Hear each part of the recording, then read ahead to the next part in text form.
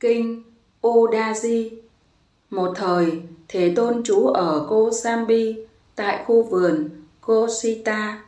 Lúc bấy giờ, tôn giả Udaji có hội chúng cư sĩ đông đảo vây quanh đang ngồi thuyết pháp.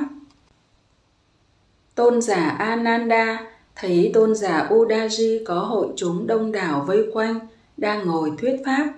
Sau khi thấy vậy, đi đến Thế Tôn. Sau khi đến, đảnh lễ Thế Tôn, rồi ngồi xuống một bên. Ngồi xuống một bên, tôn giả Ananda bạch Thế Tôn. Bạch Thế Tôn, tôn giả Udaji có hội chúng, cư sĩ đông đảo vây quanh, đang ngồi thuyết pháp. Này Ananda, thật không dễ gì để thuyết pháp cho người khác. Để thuyết pháp cho người khác, này Ananda, sau khi nội tâm an trú được năm pháp mới nên thuyết pháp. Thế nào là năm?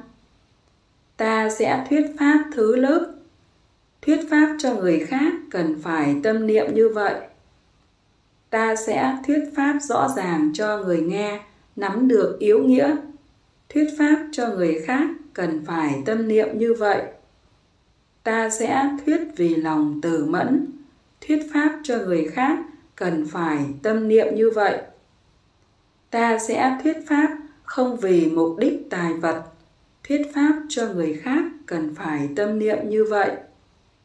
Ta sẽ thuyết pháp mà không gây thiệt hại cho mình và người, thuyết pháp cho người khác cần phải tâm niệm như vậy. Này ananda, thật không dễ gì để thuyết pháp cho người khác.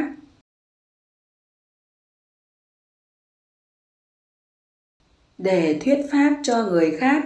Này ananda, sau khi tâm niệm năm điều này tỷ kheo mới nên thuyết giảng.